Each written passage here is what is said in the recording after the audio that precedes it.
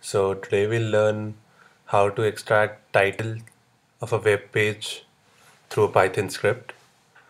So in this tutorial we are going to use two modules namely urllib and regular expression module. urllib is a Python module used to extract and fetch data from the World Wide Web and regular expression is used to find any regex or any pattern in the web page. So here I'm using these two websites, uh, google.com and Codeforces. Uh, I've stored them in an array of named URLs. So the pattern we are looking for in the web page is uh, uh, starting from the tag title till the end of it and anything in between is the title of the web page so this is the pattern I'm looking for.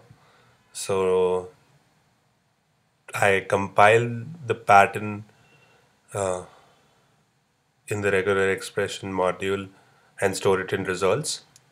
Now to find URL of the and, and now to find the title what I do is for each URL in URLs so I'm uh, it, iterating over all the element present in the URLs array what I do is I open that particular URL and now after this after the completion of this step what basically I have is I have the source code the HTML source code in this HTML source uh, variable.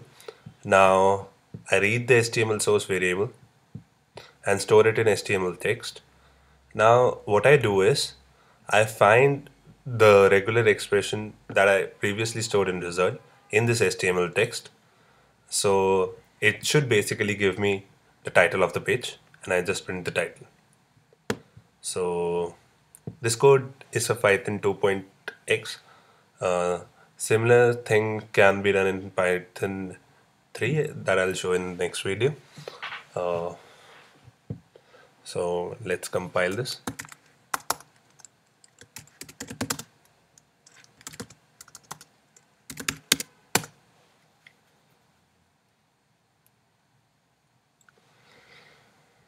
So here I get the title of the two pages, Google and Codeforces.